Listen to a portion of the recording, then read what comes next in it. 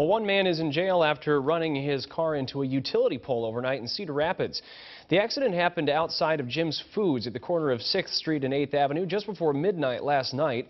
53-year-old Jeffrey Matheny ran the Mustang he was driving into the pole, knocking it into the middle of the street. And these are pictures of that light pole from a reporter that was on the scene last night, Forrest Saunders. And here you can see workers cleaning up the wreckage of the pole. Matheny was charged with OWI and failure to maintain a vehicle.